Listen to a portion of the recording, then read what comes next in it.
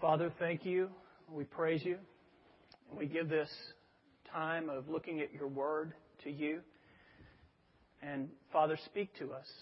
Be our teacher, be our guide. Lead us into your truth that we may know you more and serve others. May the words of my mouth and the meditations of my heart be acceptable in your sight, O Lord, my rock and my redeemer. For I pray this in Jesus' name. Amen. Amen. What a powerful song that was, huh? I tell you, um, the generosity of this season and the generosity of our church has just struck a chord in my heart this this year. Um, we helped four families, three families, three families with our giving tree, and each one of those gifts were taken, and you responded so well. Um, course, this project that we've had going on with the Burdinsky family, and then the generous hearts of our people with respect to finances in the month of December. Um, we've had over $60,000 given to our regular operating budget in the month of December. That's about twice our operating budget, two times as much as our operating budget. And um, on top of that, over $10,000 given to the Burdinsky Family Project. So, and throw in a couple thousand dollars towards Seeds of Faith there. You know, we've we've had that also going on, and so I have really been moved and um, in awe of God's work. And it really says a couple things to me. It says that we're getting it. You know, we're not, we're not perfect. No church is. We're pretty upfront about our imperfections, but we are seeking to worship God fully, and that you are learning the value and the joy of being generous. And that is not just in finances, that's just all over the place. And uh, it just keeps getting better and better at the Brook Church. And um, sometimes I just have to stop and, and, and praise. So, how can I stop from praising your name? It's very hard to uh, given all that God is doing. So, God bless you. Thank you. I want to invite you to turn in your Bibles to Acts chapter 2, verses 42 through 47. If you've been around the brook for a while, this is a key passage to us. In fact, it's our church verse. And so here at the beginning of 2011, I want to talk to you about the church and kind of remind you of first principles for us here at the brook.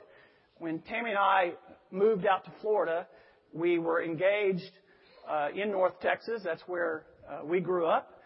Was in the Dallas Fort Worth area, and I met Tammy at church, and we dated for a while and got engaged. And uh, I graduated from seminary before our wedding, and um, I moved out to Florida, Orlando, Florida, where uh, I was going to serve as one of the youth pastors at First Baptist Church, Orlando, Florida. So for about three months, we were separated during our, our engagement.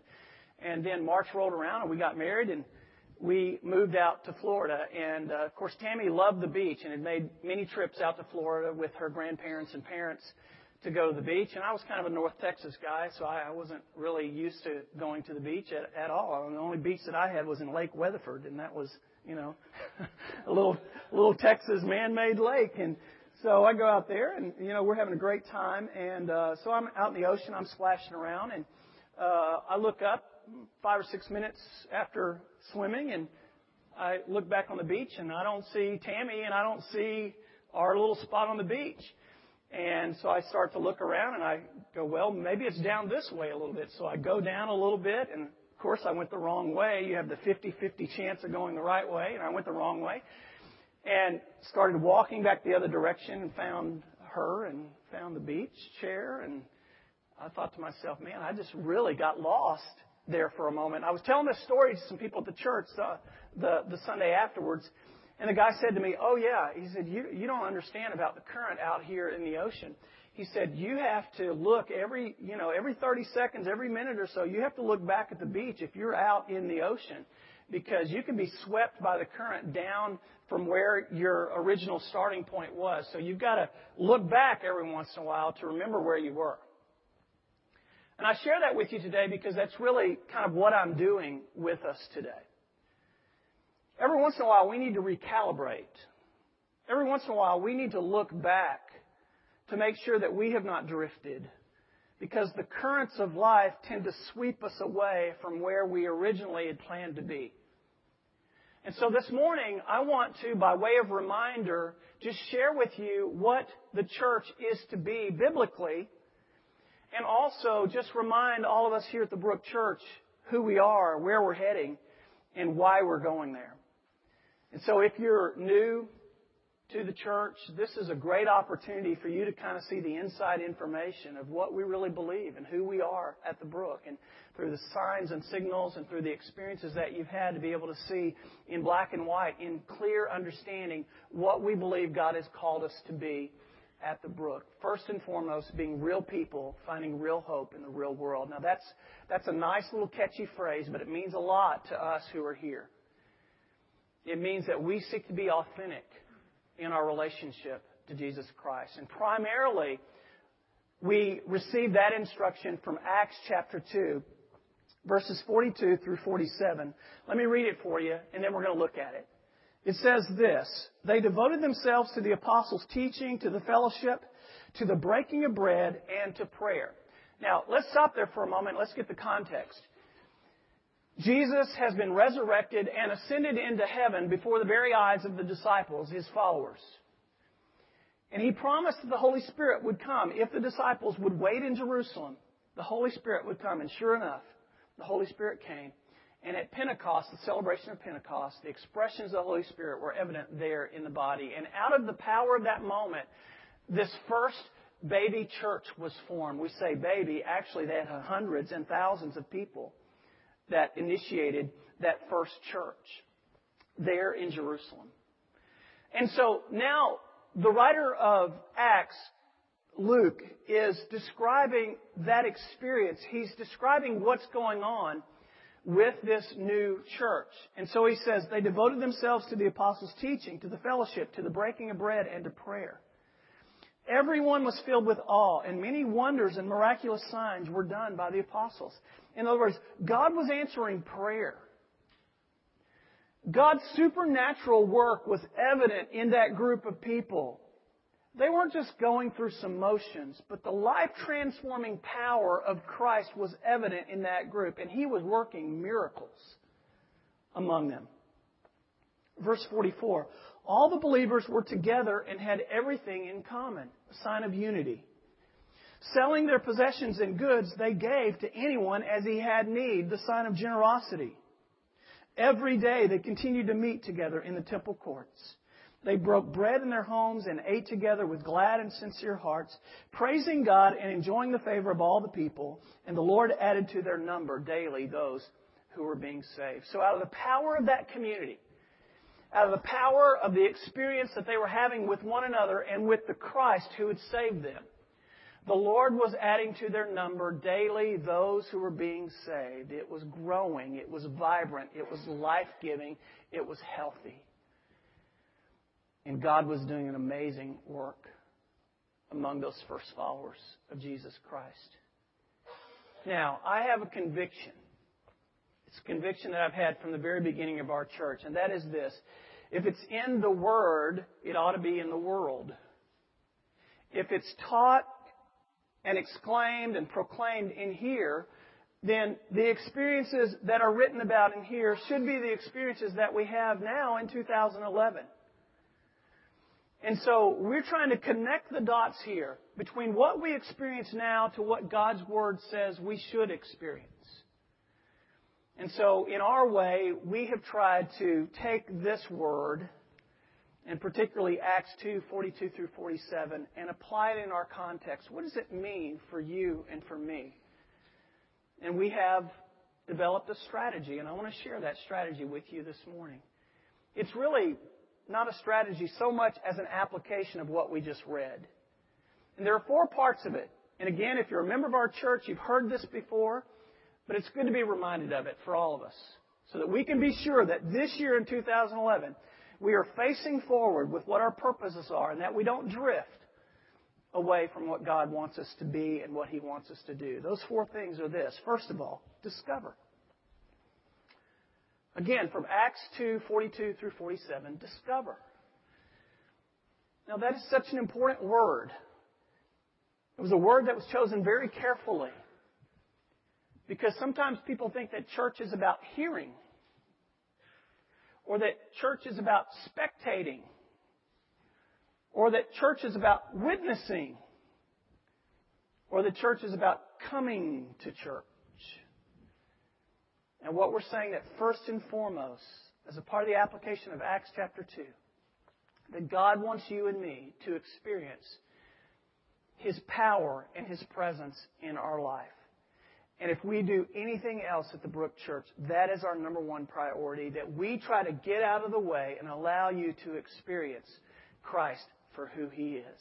Not to experience church so much, but to experience Him. So important. We're pretty simple here at the Brook. We're pretty simple. We have simple church, I like to call it. And so we don't major on the minors. We don't worry too much about presentation. You know, how in the world did Jesus get along without PowerPoint and sound? I don't know. But presentation,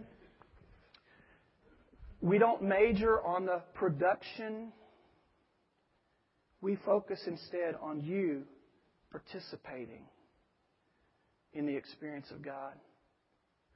And if we can do our best to point you to the Christ who will make the one and only difference in your life, then we have done our job. And for us to get out of the way and to not create any barriers that would cause you not to experience the joy and the wonder of the power and the presence of Jesus Christ in your life. So discover is the first thing. And if you come to church and you don't discover God and His power and His peace and His presence in your life, then you've really missed it. And that's what we want first and foremost. Discover. Secondly, connect. Connect to connect to others in life giving Christian relationships. Folks, this is so important, and it's often underestimated. It is so vitally important for you and me to find life giving relationships in and through the church. A place where we can be accepted by others, a place that we can belong to others, a place where we can be cared for and can care for others that this one hour on Sunday morning just doesn't cut it with respect to the experience of the Christian life. In fact, in the New Testament, the New Testament doesn't even have a concept of a Christian who is attending a church but is not connected to others in life giving relationships in some way. It's just foreign to the Bible. And so we say, listen, one of our jobs, after you discover the power of the relationship that you can have with Jesus Christ, is to also discover the power of what it means to connect authentically with other Christians, because there's nothing like it. There's nothing like a place where you can be yourself, and you can be yourself with others who are also being real as well. So important. So we try to provide opportunities for that fellowship through our small groups, through our Bible fellowship groups that occur. They're Bible study opportunities, but they're also opportunities where you can connect to others in life giving relationships. It's so vitally, vitally important. There's no language in the New Testament for an isolated Christian. So again, it's more about just coming to church. It's about participating in it. And you truly do when you connect to others. So relationships are really important here at the Brook. Not so much rules, but relationships. Third, grow. Key word, grow. Once you discover Christ, once you connect to some other believers and you begin that process of that relational dynamic, there's a need to grow deeper in your faith, to grow deeper in your relationship with Jesus Christ. That all of us are on a journey. None of us have arrived. That this book is, is life transforming now and into eternity. That you can read God's Word over and over and over again and it will speak to you in different ways and it will transform you in different ways and it will tell you things about your life that you thought you had taken care of but that God is now doing another work in, in you. And so growing is all about learning God's Word, exposing yourself to His Word. That's what we believe. This is God's Word, God's letter to you and to me. Loving it, falling in love with this book, falling in love with the Savior who is revealed in this book, and then living it. Boy, there's a big difference between what we proclaim and what we practice. And here at the Brook, what we're trying to do is we're trying to narrow that gap between what we preach on Sunday mornings and how we live on Monday mornings. So to learn and to love and to live God's Word is vital to your health. And it's vital to your joy as a Christian. And so we want to provide opportunities for you to grow deeper outside of Sunday mornings. To grow deeper in love by learning God's Word. The fourth thing is this serve. Serve. Serving others, serving the community, serving the world. Now, as you make this trip, as you walk this path, and you finish out that path, you complete it, through serving other people, guess what? You even in more ways discover God's power and presence in your life. You in even more ways connect to other Christians. You in even more ways grow in your relationship and become spiritually mature in your life. But this last piece is so vitally important and it's so often missed. In our Christian culture that is consumeristic in mindset, that seems about well, I'm going to come to church and you feed me, you serve me, you give to me, and I will receive. In that culture, what we're saying is that we have a totally different mission, and it is unique. And we are saying, and we are experiencing, that there is great, great joy in serving others and that we benefit when we give to other people. That we are the recipients when we give to other people. And so we are just holding up that value here at the Brook Church to say we're going to serve others freely and fully. We're going to serve the community, and through our missions, we're going to serve the whole world in some way. We're going to be the kinds of Christians who are leveraging our time and our talents and our treasures toward giving to other people. And as we do that, we will be the ones who benefit and the ones who are blessed. For as Jesus said, there's more joy in giving than in receiving. Now, we preach that a lot, but we don't ever really practice it. And I'm telling you, we're just hardwiring that into the DNA of who we are as a church. And it's difficult sometimes, isn't it? You know, it's usually inconvenient to do the right thing. I don't know why that is. I wish it wasn't so. It's just kind of like with food. All the good food tastes bad. right? With serving, you know, usually it's, it's inconvenient. Why is that? Because God is using this as a way of growing our character you see, there are some people, many people in our world who are too lazy or too immature or too insecure or too self absorbed and too selfish to give themselves to other people. And if you're a believer and those characteristics are true about your life, you are not honoring God with your life. You're just not. And so, in this world where we see Christians that take and take and take and take, we're saying what elevates Christ, what honors Him, is a community of people who give in service to one another in the church and who give in service to others outside the church. God will bless and honor a church like that. He is blessing and honoring a church like that. Serving. The final piece of the puzzle. Real simple. Discover, connect, grow, serve. Now, let me share with you in the time that remaining some application of this and what this is going to mean for us in 2011. What will happen to a church like that? What will happen to a church like that? Well, what did Jesus have to say? Turn with me to Matthew chapter 16, verses 13 through 18.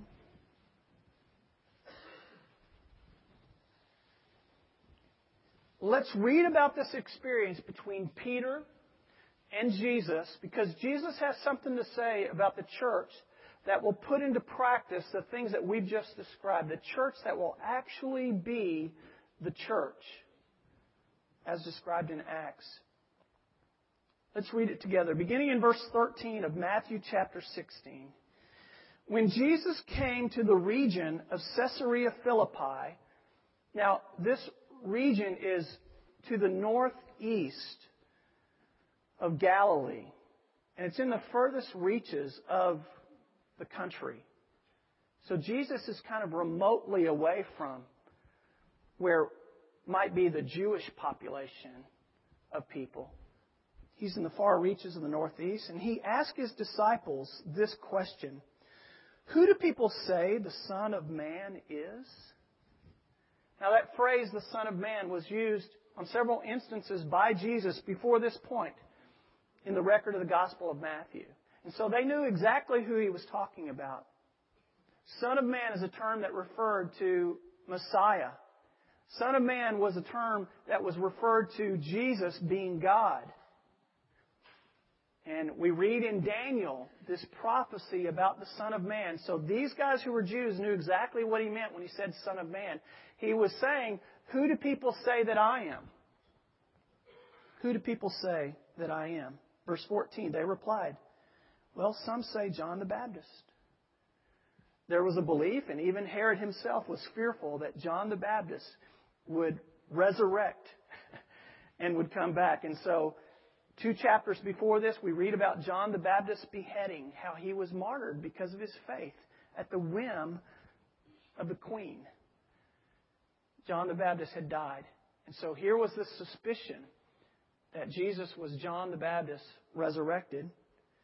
Others say Elijah. This is in accordance with the prophecy in Malachi that there would be an Elijah who would come and he would come with uniqueness and power. And of course, Jesus fulfills that prophecy. He is an Elijah of sorts, a prophet in and of himself. And still others, Jeremiah or one of the other prophets. Verse 15. Here's the key question. Now, before this, I want you to notice a couple things. In Jesus' question and their response, notice first of all that there were differing opinions. Some say one thing about who Jesus was, others say another thing about who Jesus was. Now, you go to people on the street today and you say to them, Who do you think Jesus is? You're going to get differing opinions. A lot of people have a lot of differing and even honorable opinions about who Jesus is. But notice also that despite the fact that these were honorable opinions that were really the result of respect and admiration, some people would say in today's world that Jesus was a great man, that he was a very good teacher, that he was a spiritual guru, maybe even would say that he was a political revolutionary. Honorable opinions, opinions of respect. But notice this though they were honorable, they were inaccurate. They were wrong. According to Jesus, all those were wrong opinions. Is it possible to have good opinions in Christ, of Christ, and yet inaccurate ones? Yeah, it is. Verse 15. The conversation changes. But what about you? He asked. Who do you say that I am?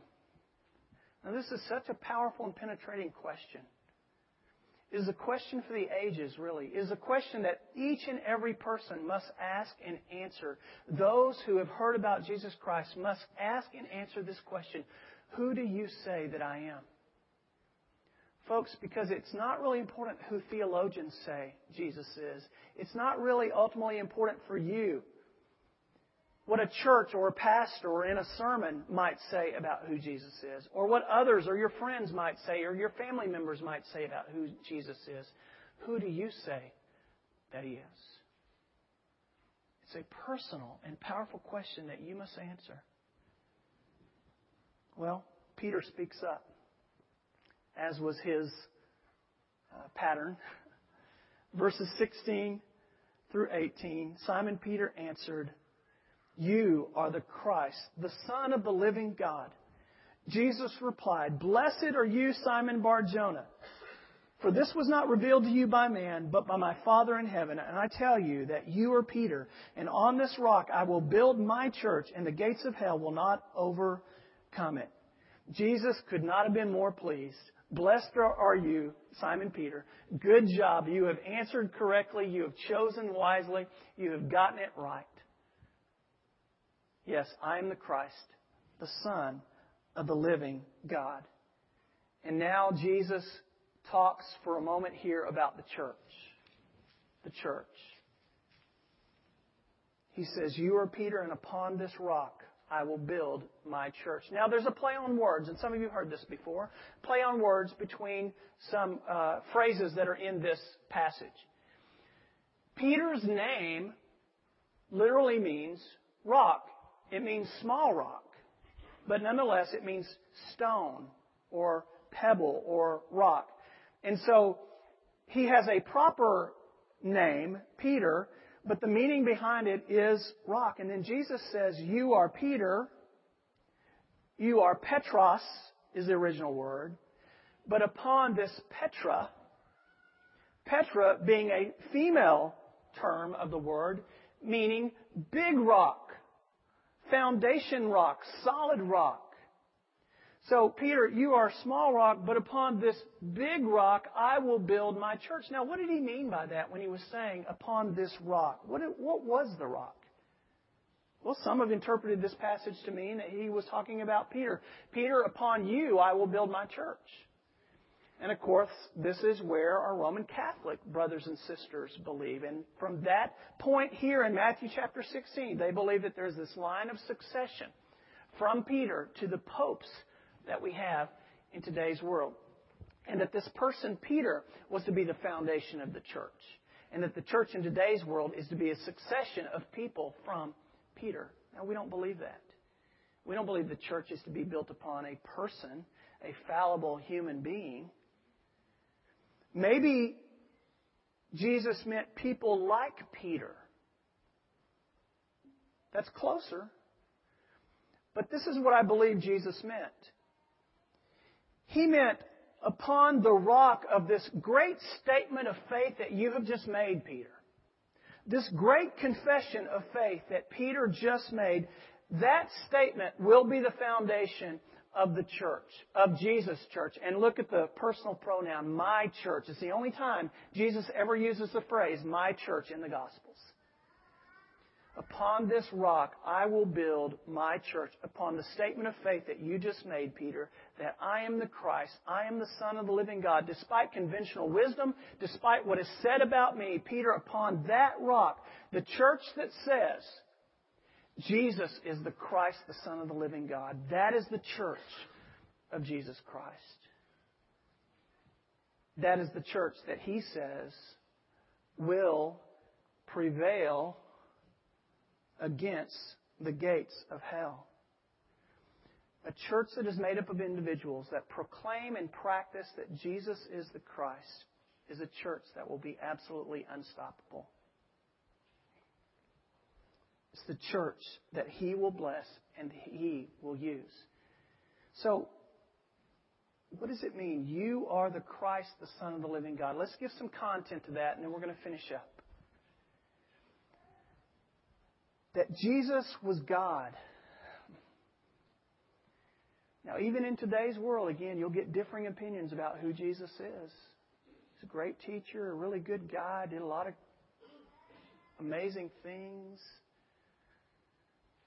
but then fall short of describing him as the Son of the living God.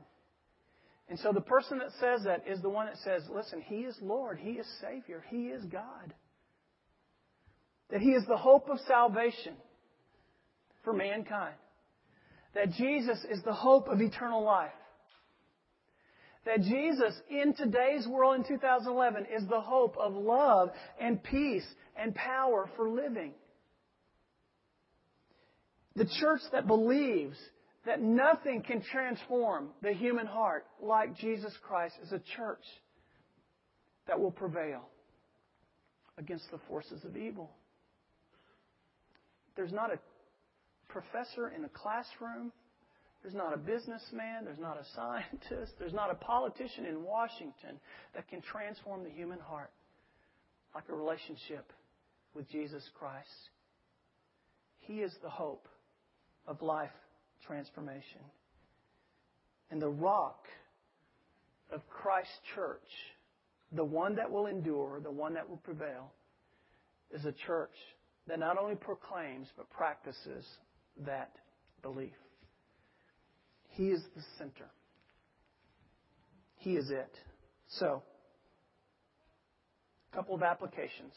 This passage, first of all, assumes that there's an enemy to Christ's church. Now, that may be news to you. Jesus, in saying that he will build his church and the gates of hell will not prevail against it, is making an assumption that the church has an enemy. And that enemy is the very forces of evil. That there's an enemy to the church who says that Christ is it. That He is the Son of the living God. That He is the Messiah. And that enemy will stop at nothing to get the church to quit. That enemy will seek to divide and to divert, and to disappoint.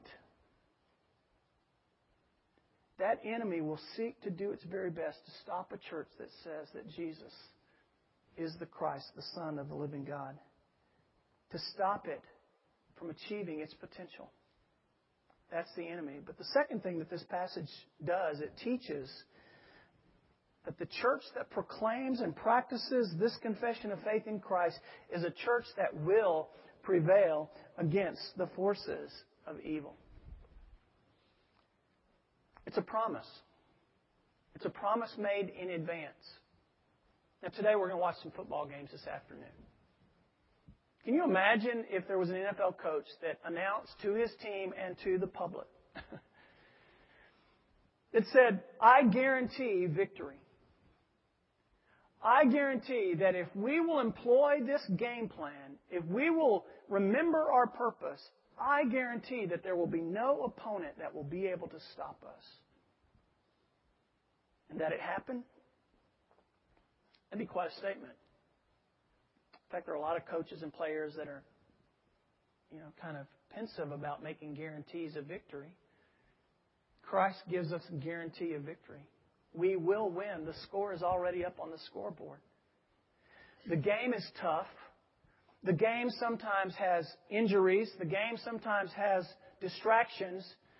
The game sometimes takes discipline.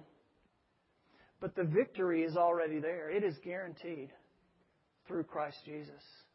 All we have to do is play the game.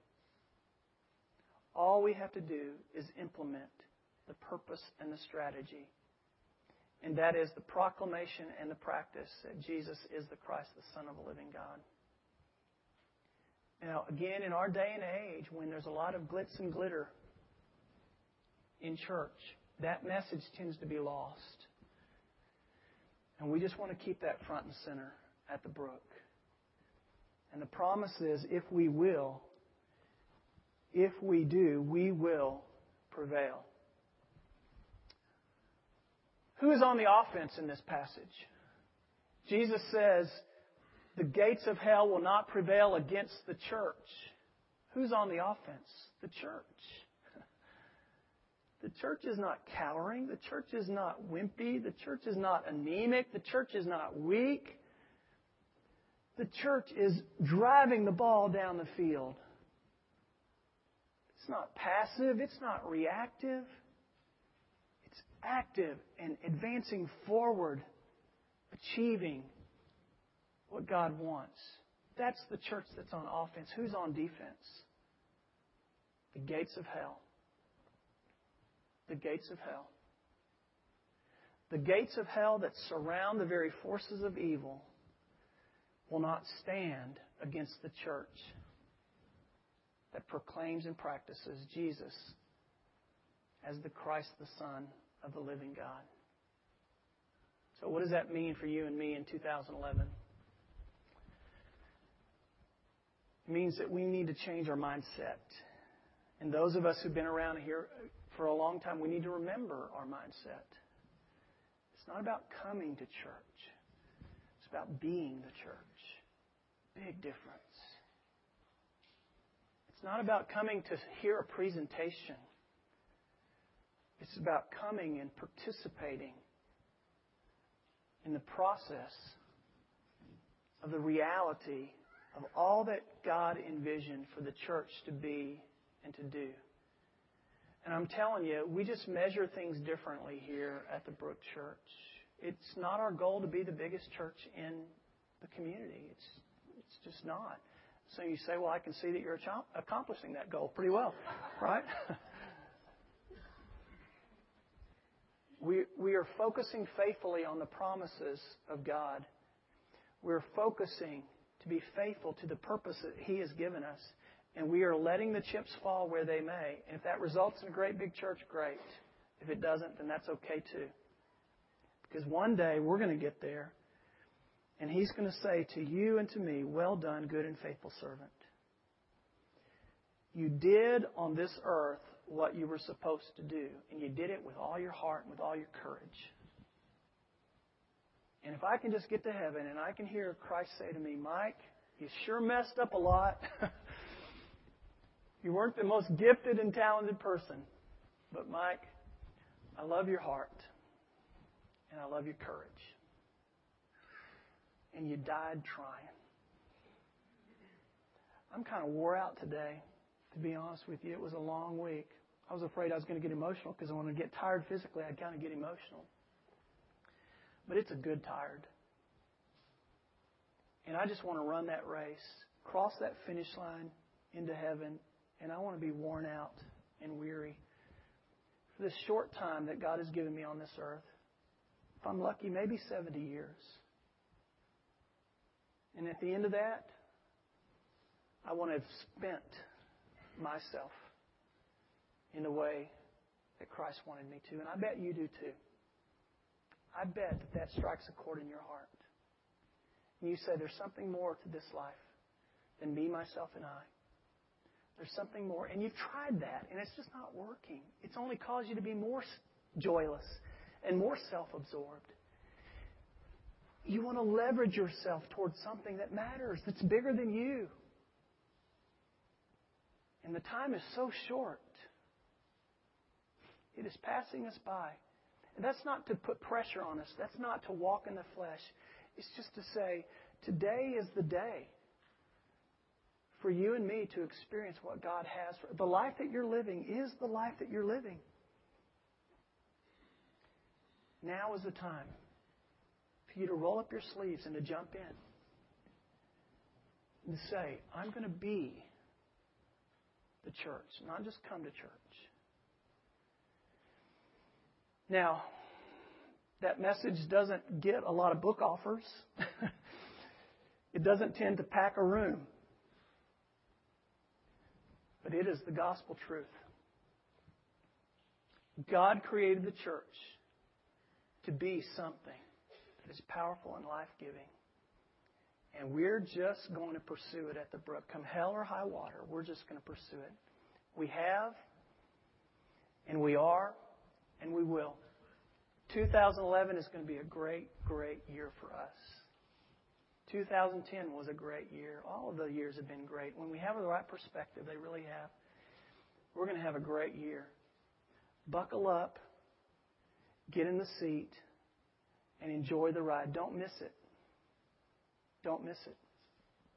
Let's pray.